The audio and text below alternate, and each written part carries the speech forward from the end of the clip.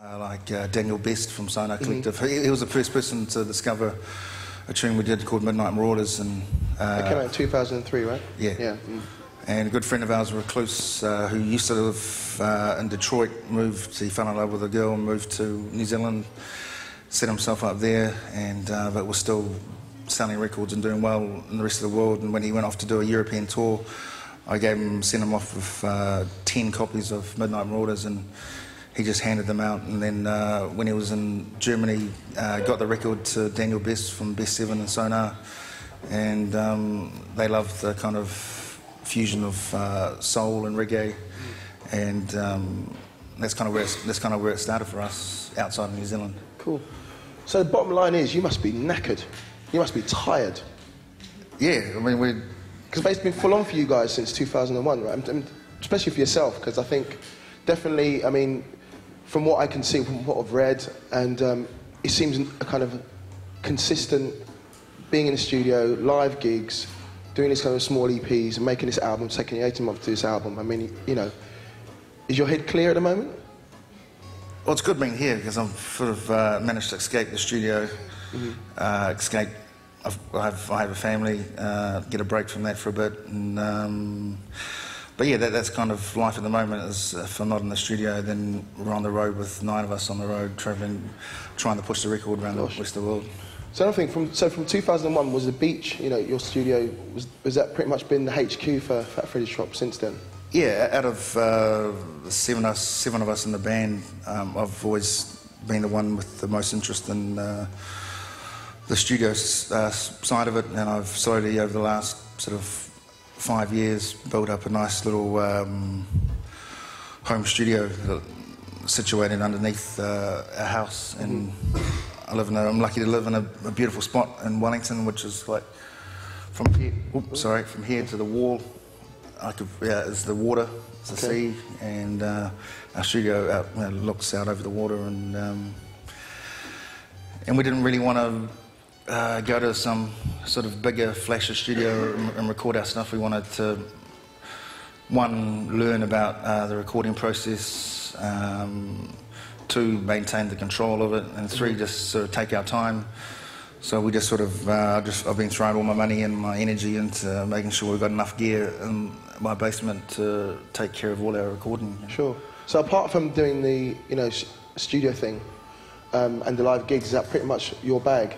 In terms of how you earn your living, how you kind of manage yourself and the band? Yeah, well, yeah, it's kind of been working slowly towards being able to be a professional engineer or musician, and that's only been the last sort of couple of years I've managed to to get that situation happening where all I'm doing is music, and that's mainly mainly, mainly focused around Fat Freddy's Drop. Mm-hmm.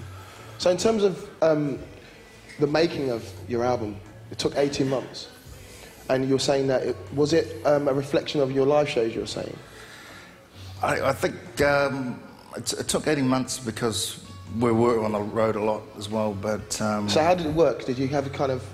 Uh, we would sort of in the initial periods just jam a lot, record the jams, and then um, and then unfortunately get interrupted by having to go on the road and do, go do touring, and then come back and try and pick up where we left and so it was a, wee bit sort of sporadic and uh, interrupted for the first half of that 18 months, and then we kind of decided in the latter part of that just to go, we've got to sit down and nail it. And we're basically getting sick of, sick of getting harassed by the New Zealand public as to where the album was, so we kind of had, had to sort of uh, push on and get it finished. But it must be a good feeling though, knowing that you're wanted. Yeah, yeah. I mean, it's, it's, it's New Zealand's a small place, so the word gets back to you pretty easily and pretty quickly when people want something.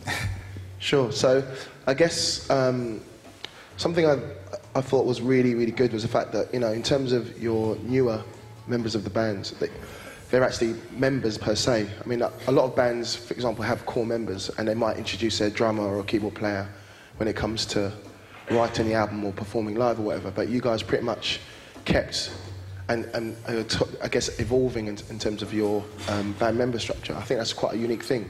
I mean, has that always been your policy to kind of introduce? Yeah, I think it's an unwritten policy with us that every person that's involved with our music project is very much an equal member of the project, uh, both creatively and financially, and I think that's a really important part of and why we've lasted this long, and well, hopefully we will continue to maintain the vibe because everybody that's involved uh, feels like they, you know, they're in there and um, has something to contribute to the project. And um, yeah, I think the longevity of the band will definitely be reflected by that policy. I think. Oh, I would definitely agree with that. But in terms of, um, I guess there's one thing to be said about being on stage and having a kind of improvisational approach to being on stage and making music. But at some point, decisions need to be made, particularly when it comes to making a studio album. So how does that, you know, I guess you're the person in the band who has to, because you're the producer, I guess. Somebody yeah. has to kind of steer the reins in some respect. Yeah, I think uh, I think that's why the album took so long to make. Because uh,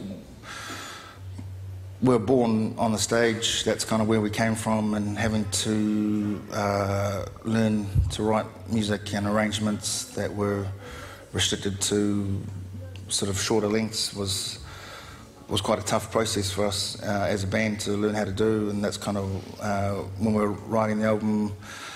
Went down many roads and had to retract and come back, and we're just trying to find a process. It was mainly just trying to find a process that suited uh, a band that was pretty much just a live improv band to coming up with uh, appropriate length arrangements for an album. Uh, that was probably why it took a long time to do, and. Um, and how, how, it worked in the studio with uh, having to make tough decisions is that kind of uh, I, I, was definitely steering the um, the production and the uh, the studio and the engineering side of the album, but it pretty much came down to because uh, we were a democratic band. It pretty much came down to whoever was prepared to stay in the studio the longest. Uh, pretty much got their idea in there because I mean was, the, the whole process for us is trying to include everybody in the band and everyone, everybody's ideas, everybody's melodies, everybody's arrangements. And it was kind of like uh, one of those competitions where you're at a radio station, you've got to keep your hand on the car and you win the car. If whoever keeps their hand in there the longest, someone who's there like four days later, that's kind of how things happen and it's just very natural. But if you're stubborn and you stay in the studio and you you're there at five in the morning, then you've got a better chance of your ideas to you know, get into the finals. But haven't you got an unfair advantage? Yeah, I'm gonna, yeah, I can disappear, go upstairs, have a sleep, and come back. But um... what was the um, most challenging track on the album to actually put together? We'll, we'll, we'll listen to it a bit later, but. Um...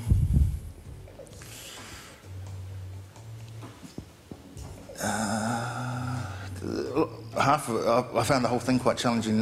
The songs the ones that were quite uh, hard were the ones that the ones that went off the most live, uh, which we really had nailed live, were the hardest ones to produce for the record. Tracks like Wandering Eye, um, they just had such a live feel. Trying to, like I said, trying to find that process of trying to maintain that live vibe uh, within a record. They, that, that, were the kind of the hard ones. Um, the most fun ones were things, tracks like Ray Ray, which I'll, I'll play a bit later on, which probably a wee bit more from where I'm from, uh, and the fact that it was completely constructed in the computer, uh, in Pro Tools and the MPC, and uh, being able to sit in front of the computer for, for days, tinkering away. No, I, have got I've got a version of it in the MPC, and I've got a yeah. Oh. Should we hear that? Yeah, should we hear that?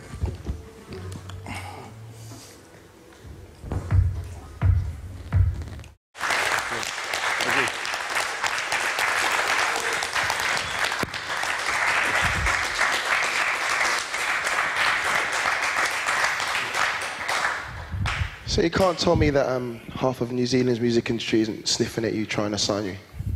Yeah, we've had uh, the major labels uh, in New Zealand sniffing around the live gigs for a long time, but we've always, um, as, as, with the music, we're, we're, right into being self-sufficient and, and, into the business side of things as well, and um, being independent to us is incredibly important. Um, Why is that? Mainly because, um, for many reasons, but the main two is to completely control um, how we're perceived in the public and how we do things. Uh, and secondly, uh, within New Zealand just just doesn't make sense to sign to a label when we've uh, done all the groundwork. We've uh, played lots of live gigs. People know who we are. Uh, why why would we give away you know 75% of the cash to a major label that um, wastes money spending money on bad marketing uh, budgets, bad video ideas. Um, you know, there's, there's no point. We, we, we get to see uh, a very big chunk of all the music that we sell, and um, so the maths just doesn't make sense to go to a major label. You know, the, make our money and keep it. You know. I hear that. So in terms of infrastructure, I mean, do you do you um, responsible for the business side as well? Yeah, um, we're, uh, my partner uh, Nicole uh, who also lives at the beach. Uh, she runs. Um, she's the business manager for the Drop, which is uh, a little company which is essentially myself and her who manage all the financial business dealings to do with Fat Freddy's Drop. And um, I kind of run the gigs and the bookings and uh, that side of things, and, and my partner runs uh, runs the checkbook. Yeah. As women should. They're much better than Yeah, they're we much just spend it better. on equipment or something. do you know what I mean? It's true, man. wow. Okay, so in terms of being independent in New Zealand, I mean, obviously you're very well known in New Zealand, and you've obviously developed some kind of partnerships with other com- country, companies in different countries. Can you go into how how that's been for you? In Yeah, terms well, of your relationship with, say, Sonar Kollektiv, licensing the album. Yeah, we, we decided to not to give it away to one person outside of New Zealand and Australia. The drop takes care of New Zealand and Australia, and we have a, an English manager who set up a little label just to, to look after the record in England called uh, Cartel. Um, this guy called Charlie Charlie Walsh. Um, How did you hook up with him? um, he was dealing with another uh, label back in New Zealand called Loop Recordings. We were doing a lot of um, electronic stuff and kind of on our tours through the UK, met him and kind of thought he- he'd be a good person to hook up with. And um, so we've kind of been, as far as distribution and, and hooking up with other labels, We've kind of been uh, very much sort of dipping our feet kind of approach. We'll hook up with someone and like in the gas territories. We've gone with Sonar Kollektiv. Um, Cartel's kind of managing the UK and the rest of Europe, and uh, we're currently looking for someone in Japan, and um, and trying to talk to some people here in the states, but trying uh, more of an approach of not having one person looking after the rest of the world. Mainly for the reason that if it all turns to shit with that one person, then we're, we're kind of we're rooted. So it's probably better for us to have someone taking like if the people if the people in Germany screw it up and it's only screwed up for Germany and it's not screwed up for everywhere else. You know, just trying to uh, keep our eggs in many baskets, so kind of share the risk. And so far, has this been fruitful? I, I suppose that's where we're at at the moment. Um, it's, it's looking good, uh, but um, we're, we're at a stage in the Fat Freddy's career that we're, we're, we're, trying to we're trying to sell records outside of New Zealand. So we're kind of that's what that's where we're at, we are right now, in the middle of that. So, and then for us that means uh, just constantly touring through the for, at, at this point just Europe and the UK. Have you? Um, how many tours have you had in Europe? In Europe Um, we've done four. wow. Yeah. Which is quite a big deal for us because one, it's you know it's kind of know, 17,000 miles away from New Zealand, and um, our, our live shows is you know fairly fairly produced and fairly high tech. So it's we have to travel with uh, we travel with our own sound engineer. We have seven people in the band. We have managers. So, you know, it's, it's at least nine nine on the road. Gosh. And we're not, the band's not a young band. Uh, most of the, half the band have got kids and have families. And um, at some point in a, in a two or three month tour, you have to bring over your partner and your kid at some point and, and you know, Okay, I didn't know that part. yeah, right. So, bottom line, it's in terms of earning a living and maintaining the band, it's all about the live shows, right? Yeah. So it's like, it must be a challenge. Yeah, I mean the live shows are very. Uh, yeah, we've been to. We've travelled from New Zealand to the UK for like say, four times now, and the last tour was the only one that broke even.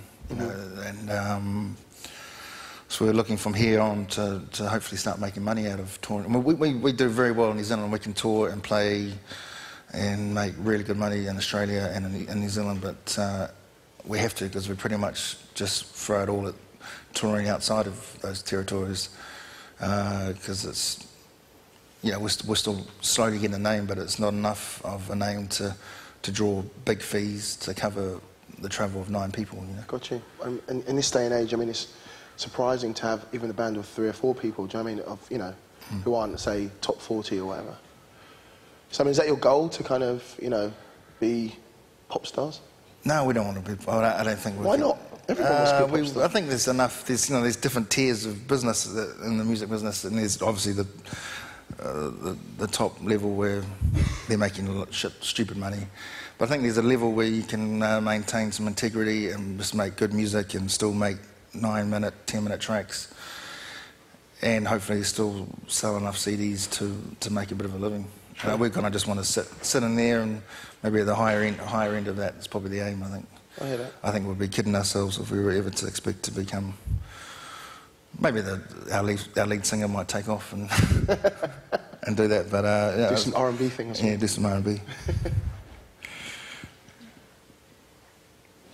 What do you think? I see your, your brain was just going somewhere right now.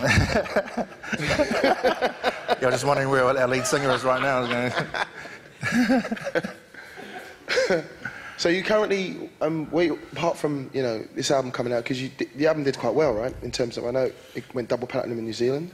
You won a whole heap of awards, didn't you? Yeah, yeah, we um, we sort of kicked up a bit of a ruckus in New Zealand uh, a few months ago. We we got asked like a, at the start of the year to be involved in the um, the local main music awards uh, for New Zealand. And, it, and we actually were thinking was, uh, initially, no, we don't want to get involved with that rubbish. It's, it's all mainstream. Uh, just it's just not us. And then kind of changed their mind because I think uh, we're in a we're in a position to hopefully change things in the music scene in New Zealand, uh, and wouldn't be just a wee bit stubborn and a wee bit uh, negative to to do that. So we decided uh, so we thought we might win one or two awards. We're up for four. And um, it would be good to go in there and fly the flag for independent music and try and you know come in and, and, and take off with, with a few awards and and it kind of, that's, that's kind of what happened. We, we snuck in there and won four, two of, the, two of them the main awards, and um, and that, that was very rare for. Uh, I, don't, I can't think of any other bands in recent history that were independent, not signed to a major, and to sort of pick up pick up some awards. So did you have to stand there and, and receive this award? Yeah, we had to get Yeah. up and Did you have to dress up, or did you just uh, we were we were Freddy's look, t-shirt? And... we were pretty looking pretty motley. Okay. we just kind of got up and we didn't even really have any plans for any speeches and um, but yeah we, we just kind of maintained our kind of low key vibe and Mhm. we're humble and took our awards and walked off stage. So in terms of being in that awards, and you, you know, for you, it's all about the beach where you're at your HQ. To be in a place where you're in, you're surrounded with industry people who you loathe, so to speak. I mean, how did you feel being at that award where you know this award's obviously got accolades, and it's good to get accolades, but bottom line, the industry is very much not where you want to be in terms of the whole major label thing. Not really, but I mean, I think the whole, I think uh, even globally, I think uh, the business model for the music industry is all changing everywhere, and I think uh, we, we can be we can be of help to ourselves. We can be a help to people that are coming up uh, in, in, in the New Zealand music industry to help get things changed. I mean, it's all for, for many reasons, uh, the industry is changing with the availability of the music via the net and, and, all that. All that's changing. So it, I think we owe it to ourselves and to, the, to other people to to get in there and, uh, and encourage change in the music industry. And um, that's kind of was the whole reason for us to even accept our nominations for those awards recently. You know, was to try and get in there and, um, and make it easier for uh, more independent people to make music and get it out there and not get not get ripped off and signed by major labels. You know, So the net's helped you a lot, you would say. it's definitely helped us not financially, but uh, directly financially, but for as far as getting our music out there to the rest of the world, getting it because New Zealand's a long way away, and I think for for small countries like New Zealand that are on the other side of the world. Uh, uh, they're the people that the- the net helps the most, I think, is, is you know, getting the music out there. So what's next for you in terms of, are you working on a new album? Yeah, I think uh, we're, we we get back to I get back to New Zealand, home for two weeks, and then we head off to. Uh, we just got a real short, quick tour of uh, places like Hamburg, Cologne, Germany, the, most of Germany through to the UK. Just a, seven gigs in a row. Uh, and then we come back after that. We come back to New Zealand, and we'll be in New Zealand for till the next European summer. So throughout that period, um, we'll start to work on the new album. And I think for us, working on a new album is uh, dialing up some new samples on the MPC uh, and having a bit of a jam on stage and trying to write some new songs. We kind of write our songs on the stage. Just a simple idea, simple melody, and then um, and hopefully three or four gigs later, it's starting to turn into a bit of a tune. And uh, you know, the first few, first few times it'll probably be a, be a flop, Sure. but that's cool. And um, so we'll do that process for our, our, our summer. We'll kind of uh, workshop tunes live. Uh, because we've got, a- we've, got a, we've got a pretty busy tour back home, so Okay. um, plenty of time to workshop some tunes, and then once we've done that, we'll um, probably come back to the studio and start turning them into the second album. So do you record, obviously you record all your live shows. Yeah, we, we travel. We, we, travel with a, uh, our own live uh, front of house engineer. And he- he has a laptop out Okay. front and records it all. And do you use that information, that audio for, for the live show, or for the actual studio album, or do you... Uh, it's more a reference, but uh, it's, it's definitely not uh, unheard of to that. We might there might be a little breakdown uh, in the middle of the show where it's just it's just down to a couple of instruments and that, that they become a loop. It's a part of the, the track for sure. Okay. Will there ever be a three and a half minute Fat Freddy's Drop tune? Not by us. I think we'll maybe have to farm out the parts to someone else to, to do a to do a radio edit. Um, but yeah, I can't. I don't think we, it's a, we just we just can't write anything less than four minutes, five minutes. Is that can't or won't? A bit of both. A bit of both.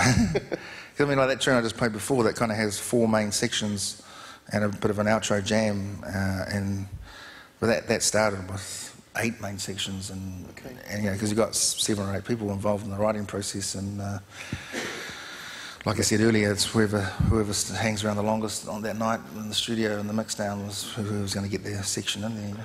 And is there, in terms of like trying to get your creative perspective on the track, is there kind of like any tips and tricks that you want to share with us, you know, in terms of getting your snare drum in there or getting your bass melody in there? Yeah, I mean, with for the the drum side of it, I yeah, uh, like you said earlier, I, I kind of have the advantage of living there. So, you know, when everyone takes off, and I'll change it all and come back in the morning. hopefully, you haven't really noticed it too much. So seven heads in a studio making music must be quite a challenge at some time, so sometimes. Yeah, I mean, uh, at, um, it's, it's it's not always pretty. It's, it's definitely in that process uh, of doing this this album were many tears, and um, but I think yeah, th- that's just that's just the, that that's a good thing. I think uh, out of those tears comes some, some good magic and some and some good decisions, and you just have to go through that process of uh, of confrontation uh, to get to the to get to the, what you really need to have on the tune. And what would you say would be the um, the thing that was the most thought about in terms of direction and was it more was it more the direction thing or Yeah, it it's more. Uh, usually those uh, difficult moments come quite early in the piece as to where the direction of the tune should be going. Once we've all had our fight and and, and we've, we've decided to go down this particular route with in style for, for, for this tune, we usually lock in and, and are on the same page. But what, um, but yeah, it's, it's usually it's usually uh, a stylistic or a vibe kind of argument earlier on as to where the tune should go. But once we've once we've sorted that out, then it's it's usually pretty straightforward. So um, I guess in the recordings, is there kind of kind of like? Yeah, there's plenty. There's plenty of outtakes sure. there's another album for you, mate. yeah. Cool. So you said you had something on the MPC. Oh yeah, maybe I was just going to illustrate. Um, because yeah, just to explain, we don't we don't have a um, when we play live, we don't have a drummer or a bass player at all. It's uh, the rhythms and the bass lines usually start from here, uh, from the MPC, and um, and over the top we have a three-piece, three-piece horn section. There's trumpet, saxophone, trombone, electric and acoustic guitar, which is the same person, um, uh, a singer and a keyboard player. And um, just going to kind of simply illustrate how we kind of play live.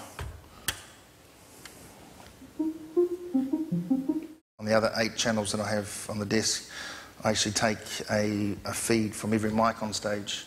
Okay. And, um, and that's really just, I don't mix the band on stage, I just take every mic just so I can uh, access the lines for doing echoes and delays and reverbs. Mm.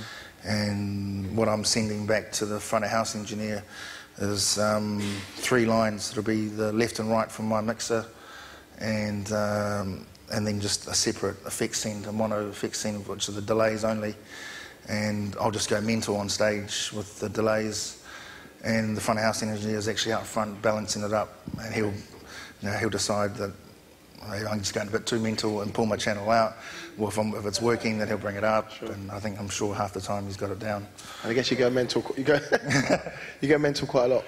Yeah, yeah. I mean, it's, it's a. Uh, the, hopefully, you will get to see a Fat Freddy's show at some point. It's, it's kind of think at this point is what we, we're best at is playing live, and um, we've kind of we're part way there with the album of making those, saying that the process of trying to become, a, uh, that, made that transition from being a live band to a studio recording was very hard. And I think we kind of got partway there with this album, and we, I think the best is yet to come. And I think uh, we're going to go for a slightly different process for the next album.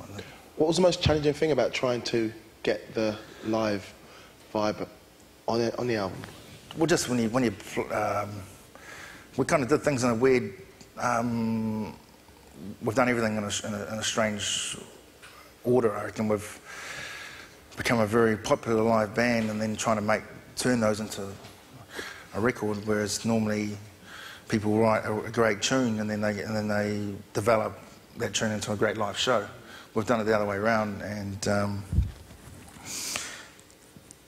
so it's hard when you've written something on stage and you go out and you play it to people and it just goes off and you know you've got a room whether it's three, 300 or whether it's 2,000 just rocking to your live show, and then you get in the studio and you write a tune, you know, you're just going, it's, just, it's, it's, not, it's not the same, you know. It's not the same as being eight people in the studio listening to your monitors as to playing live in front of 2,000 people and, right. and rocking the house. It's trying to make that, uh, trying to make that transition was, has always been quite hard. Yeah, it's just the vibe it's just not the same in the studio as it is on, on stage, you know. Sure, but then is, wouldn't it be about maybe trying to capture some of that? You know, maybe including some of the improvised recordings from the. Yeah, well, I think uh, that's what I was saying. I think uh, mm. the process for the next album may may be a wee bit different. I think. Uh, nothing set at the moment. We've all since doing this album. I think a lot of the people in the band are quite in agreement that um, the next album uh, should be more uh, recorded in a more old school approach, uh, with us all playing at the same time, okay. and actually writing arrangements uh, that are a little bit shorter, and then just playing them, and then taking the best take, and then doing a little bit of multi-track and studio manipulation later. But essentially, at the heart of it is, is a live take by everybody. Mm-hmm. Um, yeah, we'll definitely explore those those processes in the, in the next album for sure. And do you think there'll be will the MPC always be the master of the beat, or do you think you'll look at? Yeah, I think um, definitely for the live show. I think that gives us kind of our club edge, and Definitely. the fact that we can we can we can go into a dirty little 250 people club with a big PA and, and, and do that kind of night, two in the morning set, or we can um, or we can do the, the, the lovely four in the afternoon festival set. You know, we can we kind of got our bases covered, and it also acts for me as a bit of a point of difference that we have from other people. Is we, don't, we don't have a rhythm section, a live rhythm section. It is, and the fact that the the bass lines and the beats are locked down, that the the changes and the different colours actually come more melodically, and they come from the rest of the band, as opposed to the accent being on field changes and Sure. and I mean, and with with the effects and you know the the, the, the beat and the uh, and the stuff, it, it does move around a fair bit. It doesn't get doesn't get too too boring with the MPC. I've kind of, hopefully, I think I've learnt uh, over the years to keep, keep things interesting with with the MPC. You know. Have you had um, any situations where the MPC's been a bit naughty? And um, I've been lucky. Um, yeah, it's been it's been a few years uh, since I've had a the MPC freeze on me in the middle of a set. It hasn't happened recently. Right. I mean, that's, that's, that's actually the only thing I get nervous about, and I still get nervous about uh, before a gig. Is not performing in front of people or, or stuffing up. It's actually the MPC uh, freezing up is, the, is, is my only nightmare that I, I kind of have. But um, that's kind of why I use an MPC because it's just as it's solid. It never never lets me it's let me down probably five times in my whole career with Fat Freddy's Drop. You know. Got you. And have you always, um, you know, known creating music with the MPC? Hmm. I kind of um, my main tools, uh, obviously live as the MPC. Uh, I kind of been working in Pro Tools for a long time. Um, like we had a conversation the other day. I've, I've kind of reached a point where I've been doing production for a long time, and I've always managed to hide from MIDI. And I'm at a point now where I went and brought some software since the other day. Oi, oi. and about to sort of delve into that, that world. But um, up to this point, I've always been uh, programming on MPC, rolling it into Pro Tools as audio, and because uh, we've got seven musicians, uh, yeah, six musicians, it's it's always performance based and dealing with audio. Definitely a, a lot of editing, a lot of cutting up, but it's actually cutting up real audio as opposed to MIDI. You know? Sure. and do you think, obviously, that'll bring a, um, bring a different writing approach in terms of using plugins or whatever? Yeah. I it'd, mean- be a good, it'd, be a, it'd be a good one, trust me. It'd be all right. Yeah, no, I'm, I'm, I'm definitely one. I think uh, kind of essentially maintaining the, the audio and MPC and Pro Tools side of things, but incorporating the MIDI uh, as a, an, an extra factor will definitely be useful, I think. And do you use much outboard in the studio? Um, no, I mainly work in the box, uh, mainly mix inside the computer, but th- that's all about the change. I've kind of, um, yeah, mainly mainly plugins, mainly uh, kind of concentrate. My front end front end on Pro Tools is, is pretty good. I have uh, some really nice mic pre's, some very nice mics, and um, hire hire in a couple of good compressors and uh, use Apogee converters. So essentially, what's going into Pro Tools is pretty pretty good. So I'm kind of feel, feel fairly confident in, in all the mixing that can kind of stay stay in the box. But this is good because, I mean, you know, earlier you said that, you know, you basically learned as you went along, right? And, you know, you're already saying things, you know, Apogee compressor, you know, you you've obviously done some research in terms of what equipment to use, what's best out there, you know. Yeah, yeah. I mean, before pre Fat Freddy's Drop, I've kind of I've, I've been. I've always been. Uh, I was, I've worked in other studios before. I kind of set up my own my own gear. Where I worked in a very flash studio in Wellington and uh, had access to good gear. And um, yeah, I've, I've always been uh, interested in, in, in, in finding out um, how to record things really well. And that, that's kind of that's that's kind of my world, really. Definitely shows on the album, I tell you. Sounds amazing. Uh, cheers. So, the studio Mu or the live Mu? That's what we. That's the. That's our constant battle. It's, uh, yeah, that's, that's the Fat Freddy's drop battles. Is, uh, hopefully, in the next album, we'll work out how to capture, uh, you know, a bit of both. You know, a bit of good studio accuracy as, as well as a bit of loose, you know, live vibe. And, Okay. Has anyone got any questions?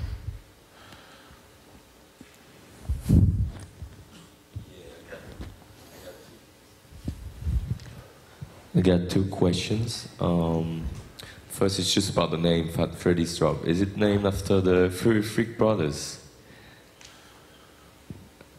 I've, um, that's kind of what we. That's kind of what we tell people. Okay. But I, feel comfortable in telling you the truth. Um, we, I don't know, I'm, I'm sure they made it everywhere else in the world, but, but back in the day, uh, there was some acid, some LSD that came out to New Zealand called Fat Freddy's. And they were probably the, the best and the strongest acid that I've. I don't take acid anymore, but this is long, long, long. This is a long time ago. And um, myself and Toby, he's probably hiding over there somewhere. We, I don't think he was. He might not have been involved in acid, but um, me and the singer anyway definitely took some uh, these trips. And uh, the very first version of a track called Hope, uh, we did came off the back of a two or three day session on these Freddy's, and uh, that was the first thing we'd ever done. And we didn't have a name. We're just tinkering around in our pretty basic studio at that point. point, and uh, we gave it to the local radio station because they had a 21st. It was the 21st birthday of one of the local student stations in New Zealand, and they wanted a track, and we gave them this track. It was, was, was pretty cool, and they said, "Oh, what's your name?" And we don't have a name, so we just kind of. So yeah, just call it Fat Freddy's, and um, it's kind of stuck. Just yeah, the, the aim was definitely to lose lose that name and come up with a proper name, but um, it just, and this never, never, never went away. Okay. but we, we just tell the press that, that we kind of don't want to push that whole drug thing with our music, but uh, we just tell the press, yeah, it's the Furry Freak Brothers. Uh, Yeah, well, probably the name for the acid came from the Furry Freak Brothers. yeah, yeah, totally. So indirectly, uh, it's the truth, yeah, for sure. Um, and my second question was um, about when you perform live with CMPC, do you usually load like one file with different drum kits and, and stuff, or do you like load several files in a row? Um, each song will have its own program, and yeah, so there's like if I've got, uh, I can normally fit um, half the set on, on one load, so it'll be maybe five tunes, um, and so there'll be five different kits and five different sequences, and then. Um, and then I'm, mad, I'm madly reloading halfway through our set. Usually there's one song that we use during the set, which is called Roadie, and we'll start with a very kind of jammy horn a cappella while I'm reloading, and then. Excuse me.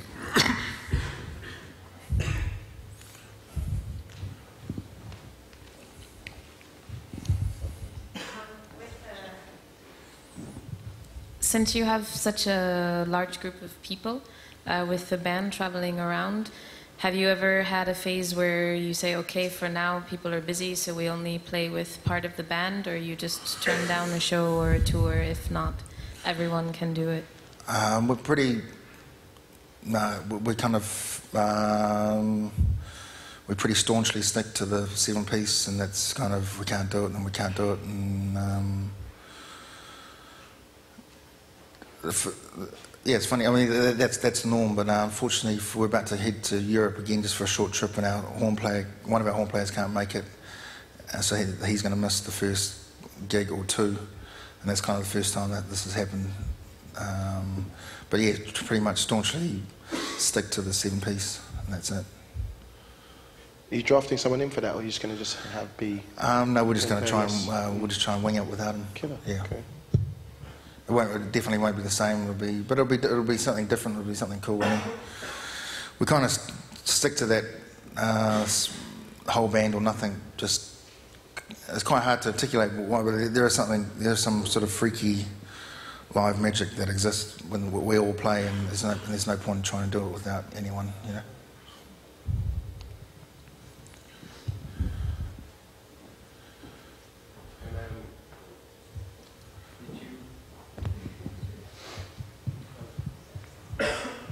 Hello. Um, because of that, did you did people find it hard when you're in the studio? If people are so used to playing, because you know musicians when they're playing they're kind of vibing off of each other. So did did everybody find it hard if you were going in and there's just you know the one kind of track playing and people are going in on their own, or did you try and keep it that there was a couple of people playing each time? Yeah, and initially we started off very much um, quite separately. We'd have the basic rhythm track in Pro Tools, and uh, a couple of horns would come in and do their parts, and then the vocalist would come on another day and do their part, and the guitarist, and all, it was all initially quite separate, and then uh, we we kind quite found later on that it didn't really have that much vibe, and was a little bit.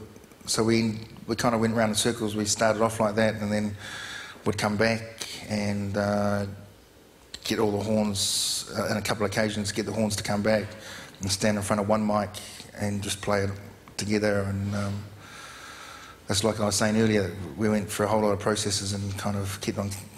And I think that was a good thing about having our own studios that we could learn a lot and actually experiment and work out what was best. But I like, yeah, initially it was a lot, lot of stuff done separately and having to come back and do it together.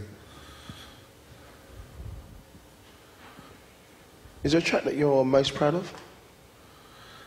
Um, oh, I'm, yeah, I'm pretty proud of the. I'm pretty proud of the whole the whole album, really. To be honest, I think yeah, it's um. I mean, that's what it's not perfect. None of it. I mean, that's kind of you always got to leave room. That's the whole uh, thing about making music is there's uh, always room for improvement, and uh, if, if you ran out of room for improvement, then you might as well do something else. I mean, I've always kind of put it in the context that this is where my where our skills, my skills are at this point, and this is what we've produced, and that's cool. And then move on, learn new lessons, and, and, and look to improve. But uh, generally, I'm pretty proud of everything we've done so far. And when you listen to the album now, you know, when you're walking in supermarkets in New Zealand or, you know, Tesco's in London, um, when it's playing in the background, what kind of thoughts go through your mind? Yeah, they're, they're, they're moments of where I'm proud, you know, like, uh, especially back home, it's just, we're kind of like the cafe kings back home. You know, you walk into every cafe in a major city in Wellington, or in, in New Zealand, and it's just, usually that first album, especially that first album, just because it's four tracks that play for 80 minutes, uh, that just suits cafes very well. And yeah, those are usually pretty proud moments, and you know, uh, uh, yeah, it's great. I mean, we want to sort of maintain some underground integrity, but you know, at the same time, we we're making music for people to hear it, and the more, you know, if it can be heard every, everywhere, that's great. I reckon. Well, it's trying to strike that balance, isn't it? Yeah. Because on one hand, you know, it's good that people hear good music, especially in this day and age. Yeah. But at the same time, I think that's why for me it's interesting this whole kind of idea of the whole underground thing. I think underground is, in terms of perspective and what, what you're trying to achieve, I think definitely it shouldn't be underground. I think it should be uh, definitely overground. Yeah, I mean, the, what's overground and what's mainstream at the moment, I'm pretty sure it exists uh, outside New Zealand as well. There's just so much rubbish on the charts, and uh, it's not like that people. That's just what people are fed, so that's all that people know. And if you can actually get in a position to push good music into people that don't know otherwise, then it- it's got to be healthy. I mean, because the masses are just getting fed rubbish, and so if you yeah, if you're in a position to feed them something that's a wee bit different, a wee bit uh, better, then it's got to be good. But you know, the fact that you've had a number one, isn't it quite possible that you know, Fat Freddy's Drop could be mainstream, in the sense of sales and in terms of profile, not necessarily music. tape. Yeah, well, if that's if that's the case, then that'll be great. I reckon. I wouldn't have a problem with that if we didn't have to change the music that we make. And certainly, uh, we're reaching those sort of sales back in New Zealand. I mean, they're up, they're, they're up there. I think. Um, when we left New Zealand, when I left New Zealand to come here, our album was sitting at kind of over 40,000 records, and for a country that's small as New Zealand, that's pretty That's good. great. You know? All from your, all from the beach. All All from the via beach. the. That's great. And um, yeah, for a country our size, that's that's huge, and uh, and it won't stop. It'll it'll keep on going. I think you know. To every household in the la- nation. to every cafe. That's and, yeah. I was going to ask a question. Uh, you mentioned before about your mics and that you've got really good mics. Can you tell us a little bit about your mics? And are there certain mics that are more specific for recording vocals and, and ones that are, um, you know, for recording, say, the horn section? Or, I mean, yeah, tell us a bit about that sort of thing. Yeah, I mean, I, I kind of auditioned a lot of mics pre writing the album and um, uh, tried a lot of classic stuff like uh, a U87, a Neumann U87, tried some fairly high end AKG mics from 414s, and uh, I unfortunately couldn't get my hands on a, a U47, which would have been cool. But um, in the end, I went for a, as a main vocal mic. I went for a, a, what's a company called Blue microphones, and they make it. They make the kind of most top end non-tube mic, which is called the Kiwi. Um, Is that a bit of an irony there? eh? Is that, is that some irony? Because it's called Kiwi. Was that your, That was just that your main total, reason? that was a total coincidence. Blue Microphones is a company that I think is Latvian, and I used to make the, the, the capsules for Neumann back in the day, and they went off and set up their own company, and they had all these fruity names for the different ranges the, within their mics, and it just happened to be called a Kiwi. And uh, so that was kind of what I settled on as a, that's what sounded the best to me. Um, and in the end, kind of just because it's a home studio, uh, we used the Kiwi on a lot of a lot of the album.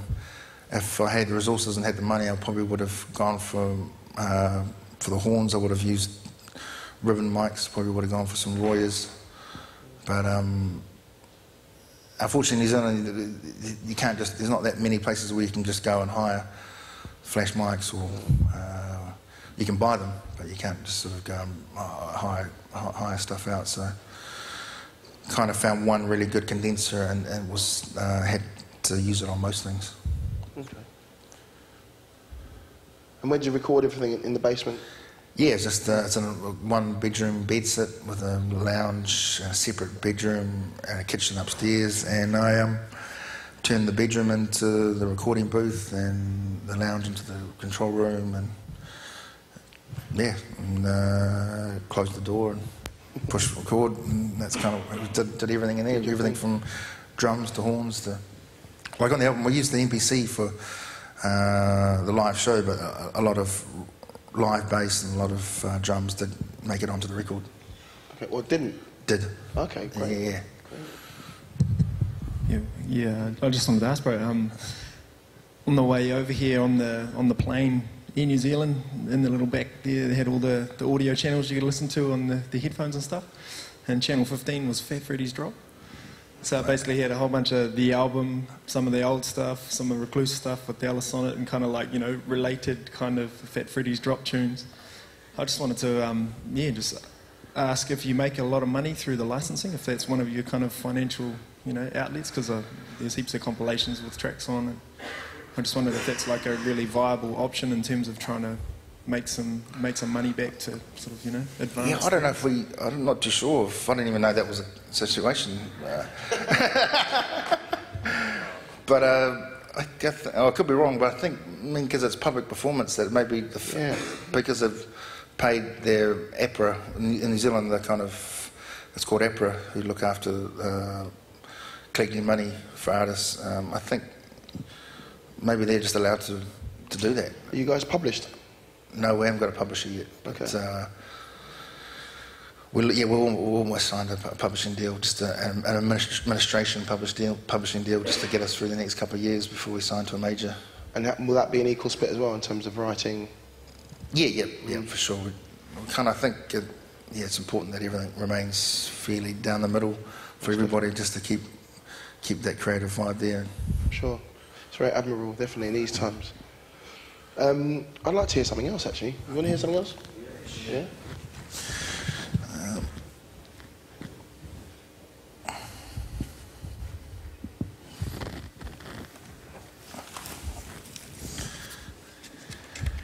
Would you say that you're um, a superstar? What's that? A superstar? I'm fairly well known in New Zealand. So when you're walking down the street, people know who you are? It's getting a bit, it's getting a bit strange like that. Yeah, they're starting, uh, people starting to recognise me down at the supermarket. Only because we've got a video out, we've, put, put our first proper video out not that long ago, and we feature heavily in the video, and the Oh, video is getting quite major play on, on TV back home.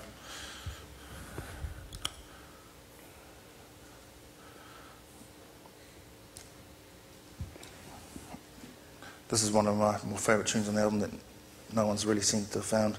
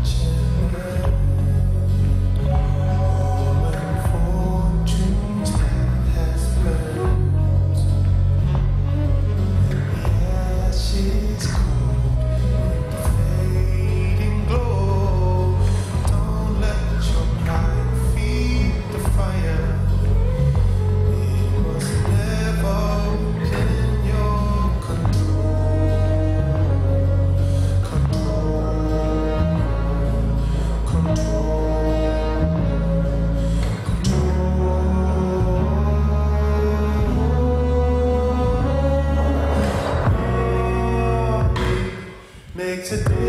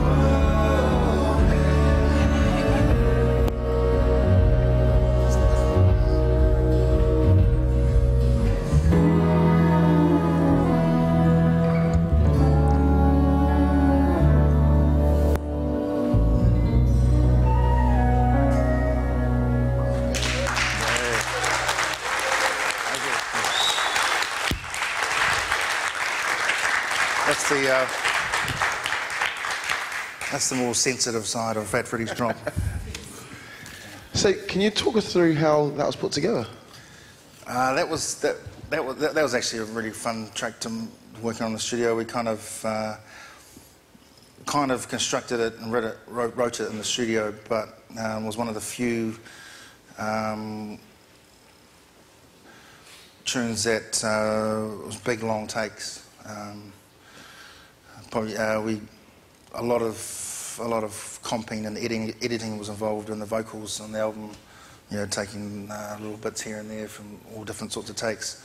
Whereas the vocal on that track was pretty much um, from start to finish. Uh, the bass was the same, and the horns. So it was, uh, with a little bit of construction with the beats, but pretty much uh, everybody playing right from start to finish. And it was all done within Pro Tools. Yeah, that's all So, Pro Tools. you got a, you got a really warm sound for for using Pro Tools. I mean, what kind of plug- plugins did you use for, say, the compression? Um, my, my main, um, I use the Sony Oxford um, plugins, which is they've got a great EQ and compressor as my main, just my main, uh, yeah, the, the Sony Oxford stuff is the main plugin I use with a little bit of um, some of the uh, mastering stuff from Waves, Okay. like um, uh, C4 and the L2. Okay. But um, main, mainly, mainly Sony. I've only got two lots of plugins that I bought.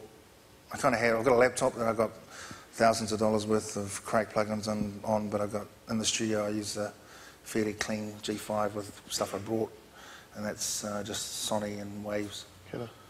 And for the delay, kind of dubby delay, what do you tend to use for that? Um, either use uh, tape delay. Uh, I'm right into tape echoes, uh, like the Roland triple five or the 501. you own one of those, yeah? Yeah, Yeah. I've, got, I've got one of each. Or just a quickie, which is kind of a good trick, I reckon, is usually just using the Digidesign d- delay, which sounds pretty terrible, but on the return channel, if you kind of slap something like amplitude or some fil- filthy filter, it kind of hides it from being, you know, kind of makes it sound a wee bit like a tape, tape delay. You know? Kind of make it a bit more coarse and a bit more kind of analog. Okay. Killer. I was going to ask about the uh, the songwriting process. I mean, how does uh, Dallas approach that? And uh, is that just his own thing, or does everyone have a hand in it? And uh, I don't know, does he does he kind of work out something beforehand, or does he hear the music and then it comes from there? How does that work? Uh, usually comes uh, the lyrics are totally his his, his, his thing. He he writes all the lyrics, um, but they're usually inspired by uh, a jam with the band. We'll be we'll come up with some new jam and that'll set some tone or some mood, some vibe, and then he'll. Um, he'll just sit there within the corner of the room with a pen and paper while we're jamming and um, and write some lyrics, and then um, and it's just toing and froing. He'll he'll find a chorus, find a verse, and then suggest some changes in the music to, to suit the lyrics he's just written. But it's all it's all pretty natural and yeah, and it usually comes off the back of the music. The music's usually first.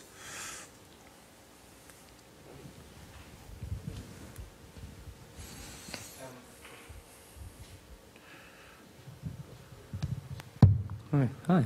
Uh, would you say that your live shows kind of changed since releasing the album in terms of that a lot of the people, especially maybe touring England, say, have heard the album and they want to hear the tracks from the album? Would you say your, your live sets, the songs are actually finishing now rather than doing the, the 30 minute rollover into the next track? Have- you kind of found it's changed? Yeah, it's uh, with it's um,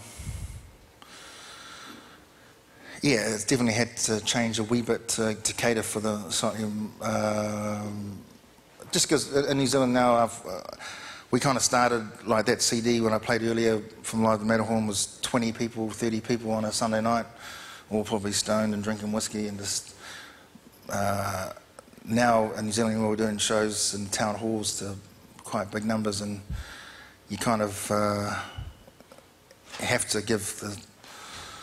We feel like we have to give the set a wee bit more shape than uh, than we used to, and um, that's kind of yeah, that, that's that's the, the the downside of uh, I suppose getting popular within you know within New Zealand is having to.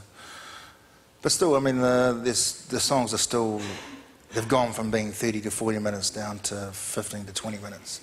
So, you know, it's kind of uh, we, we made some compromise there. But, uh, and, and unfortunately, what we used to do a lot is uh, uh, just that day I'll kind of come up with a really cool sample I found at home on a record and dial it up and quickly put a kick and a snare to it and then play that that night with the band. Uh, unfortunately, that doesn't get to happen as much because people want to hear some of the songs. That's it's a bit sad. So yes, it has changed a wee bit. What's the track that people keep on asking for? Um, people, uh, people always ask, ask for hope and for Midnight Marauders, and we very seldomly play them. Uh, that's kind of just us being stubborn. They're kind of songs that we're done with. We didn't put them on the album. Um, and yeah, it's very much, it's, uh, you know, it's, it's kind of uh, maintained a bit of an attitude that's also our music and we'll play what's we, we, we want to play at the time and Midnight Marauders and Hope are songs that we kind of we've done and dusted a few years ago and uh, we're happy to release them on compilations but we're not kind of that happy to play them anymore.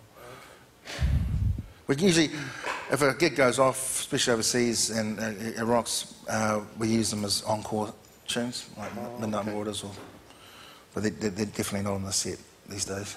So how does it work with seven people doing an encore? Do you, do you all go off and all come back on, or do you kind of hide behind your instruments or something?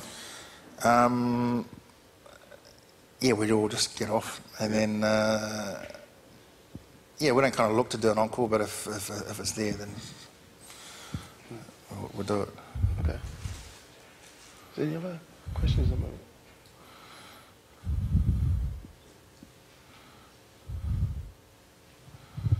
I just want to ask um, if, if there's anything else in the pipeline aside from uh, Fat Freddy's drop.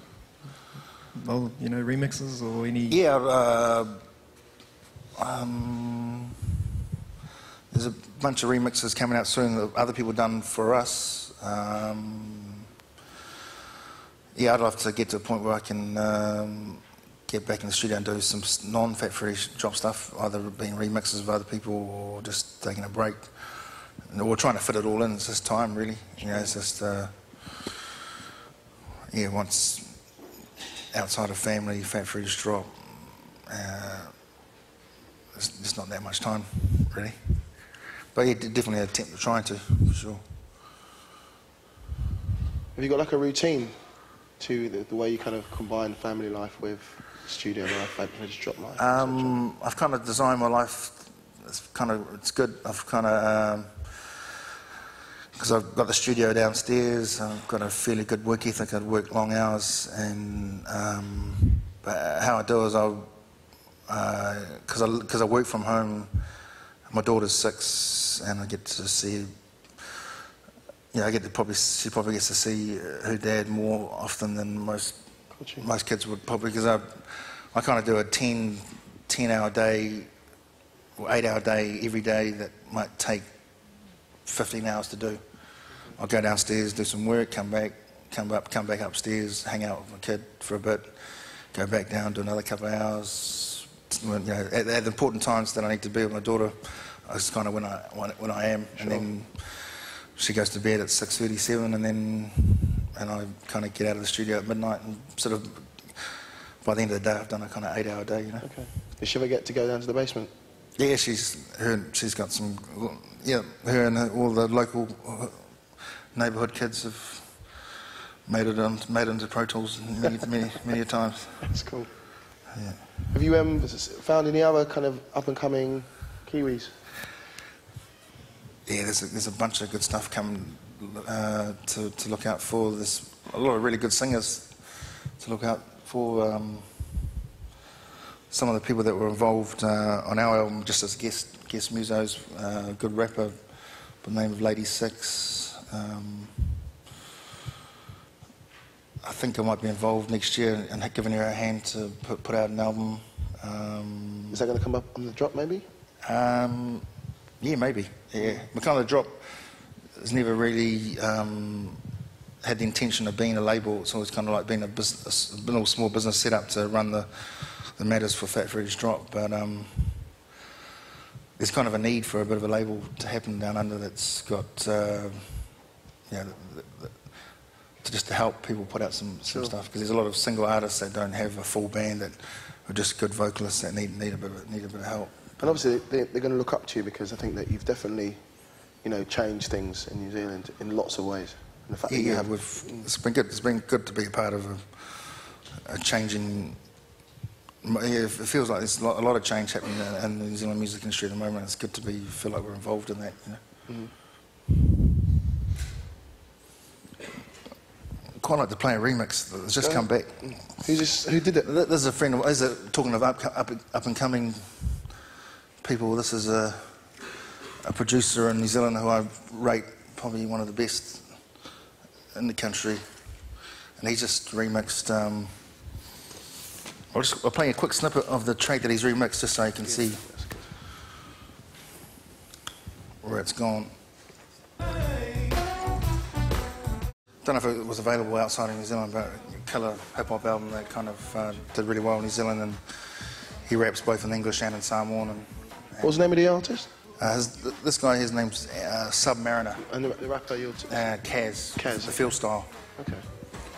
Nice, man. Thanks for sharing that. Is that going to be out soon? That, yeah, well, our next single in the will be come out in the UK will be the uh, the album version and that remix. Is that going to be available in New Uh, Zealand as that'll well? be yeah, that'll be available hopefully everywhere. Yeah, it'll come out. New Zealanders will have to import it. Why is that? Uh, just because uh, we don't, we don't. Really, I mean, singles are obviously a good way of pushing an album sales for an album, whereas we don't really need too much help in New Zealand. This is an initiative. The, the single idea is an English initiative that they, they're doing. So they, they, they're bringing out a, a 12 with the album version and a remix. Okay. Yeah. So there'll be some eBay fodder for the Fat Freddy's fans Yeah, yeah. at home. Um, was I asking? Um, what was the story about the album getting mastered in um, San Fran? Um, yeah, in, in New Zealand, everything is very DIY. There's uh, lots of people who, like us, who just produce bedroom producers that produce stuff at home in the basement, and, and that's fine. But there's no there's no one with the experience or the gear to master records. Um, on our side of the world, generally, I reckon. I mean, there's certainly no one in, New Zealand. People would argue that there's someone, some people in Australia. I, would tend to disagree. Uh, I wouldn't trust my record with anyone in Australia. Um, so yeah, I jumped on a plane and went to San Francisco, and um, yeah, I mean, uh, uh, this uh, just a friend of mine was living in San Fran quite a long time ago, and uh, he was working in a record shop and also working for a label, and he put together a compilation, and um, he suggested using uh, this guy George Horn. who's quite a quite an old school, quite a famous uh, uh, engineer uh, in San Fran who's, who goes right back with the Fantasy Studios. Uh, we have a very long uh, history in, in that area with jazz records, soul and funk, and I've been around since the 70s. And, um, and I've, he used to master a lot of, not, not so much anymore, but he used to master a lot of the ubiquity stuff. Um, and I just kind of thought he was an appropriate master to use just because he was dealing with both DJ records and live instrument records, and that's kind of we're kind of uh, a bit like that, you know. So stylistically, so I thought um, give it a go. And he did Marauders way back in the day, Midnight Marauders way back in the day, and did a great job. And we just thought, you know, we'll just go back to this guy because he's going to be better than anyone in, in, in New Zealand. And how was that whole um, experience for you being in the master room while, while he was kind of mastering your, you guys' baby? Yeah, it was good. Um, he's an old guy. He's really old. He's like probably well, not like really old, but he, can, you he kind of walks with a limp, and he's kind of looks like he's about 70, 80. And Okay. He's an old guy sitting behind this console and puts puts our dad on and just cranks it right up. You know, just at a, a volume that was probably too loud for me. And uh, he's just this little guy hiding behind this console. Does that sound good? yeah, it sounds great and cool. I mean, Make a big difference to the record, do you think? um, yeah, I think yeah for sure. He just had the experience of knowing what what, what frequencies to to tickle and what what to what to compress, and just he basically just gave it a good squash uh, and and turned it up, and uh, he was good. He didn't want to change too much. He just wanted to get a hold of the bottom end and make sure it wasn't too loose, and Sure. and pretty much leave it as it was, and. Um, yeah, that, that was a good experience. I mean, I didn't want to, you know, I was going to him for a reason. I didn't really want to get too much involved and ask too many questions. You know, and uh, had had it, had had it been a situation where I wasn't hear, liking what I was hearing, I definitely would have jumped in there and said something. But it sounded great, and I just let him do it. Definitely. But I I needed to go to somewhere outside New Zealand, somewhere that had analog gear, and because it was an album that essentially was digitally recorded, and just felt like it needed to have a pass at some point on the way out that was analog. And Most definitely. And did you master to um, to um, to bat dat again after? yeah, he goes from yeah, DAT to DAT, just had two DAT players for an old Sony console. Um, not too much outboard. It was, most of it was just the EQ on the console, and uh, the only thing he had is he had a um, the only modern thing that he had was his um, his limiter was a, a the hardware version of the L2. Okay. Yeah, he had a had a The waves thing. yeah the waves and the waves L2 was his only kind of modern part of the chain. So you were a very happy man on the way back from San Fran, I guess. Yeah, it was cool. I was kind of listening to it on my iPod on the way back, just you know, flicking between the newly mastered record and other stuff on my iPod, and it, it all sounded good. And is that something you would definitely do in the future? Always kind of master your record outside of New Zealand? Yeah. With George Horn? It's just um, uh, it's more than just the gear; it's the experience.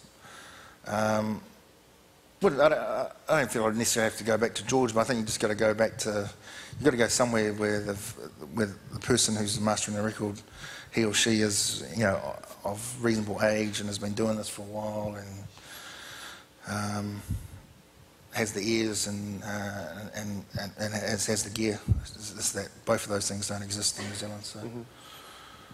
I mean, I've been really enjoying uh, the mastering at the Sonar Kollektiv. People get all their stuff mastered at a place called Calyx.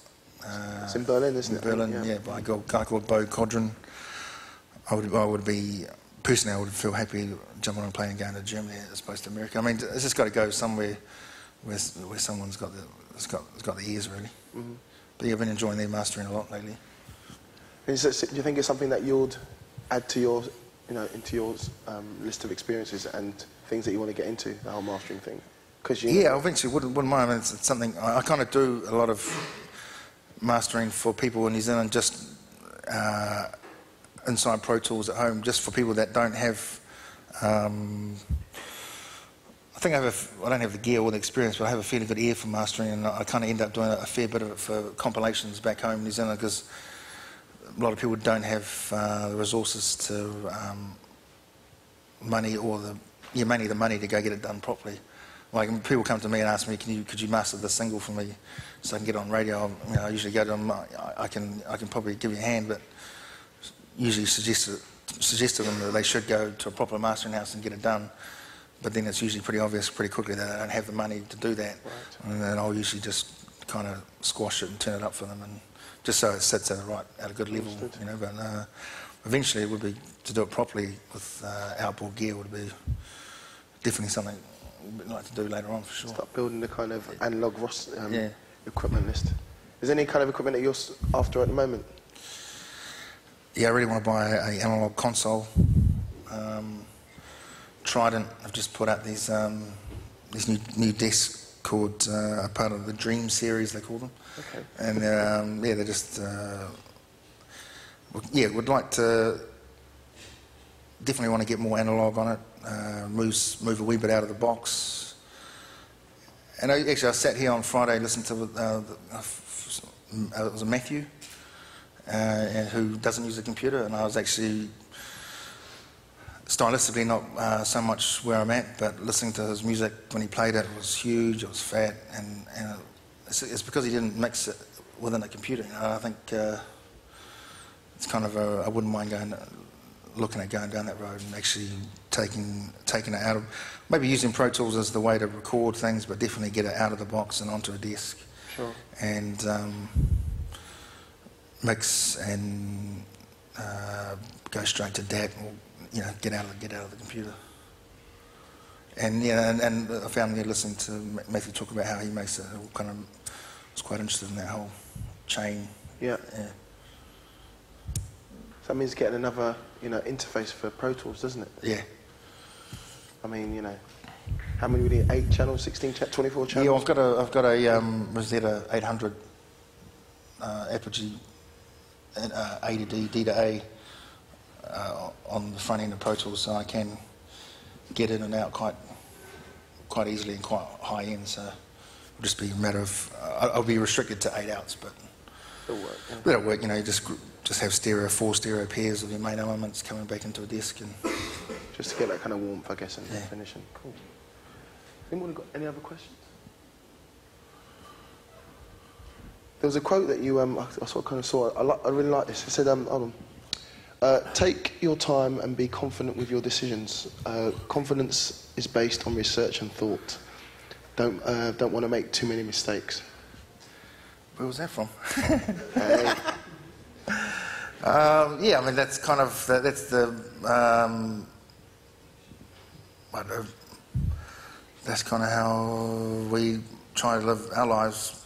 Um, life, you know, in this business, making music, it's just so hectic and so busy that you don't want to, you haven't got time to make too many mistakes. And I think you're kind of better in taking your time and researching all the, and having a look at all the options.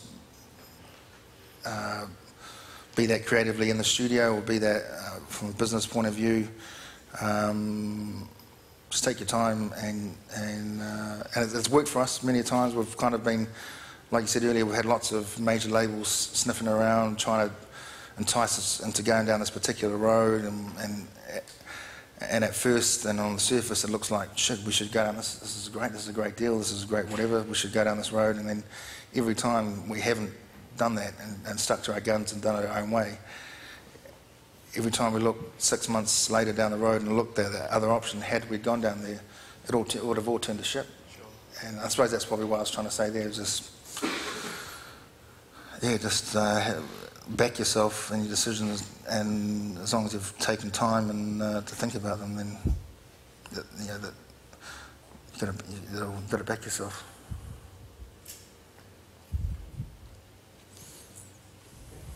Mu, thank you very much indeed. all right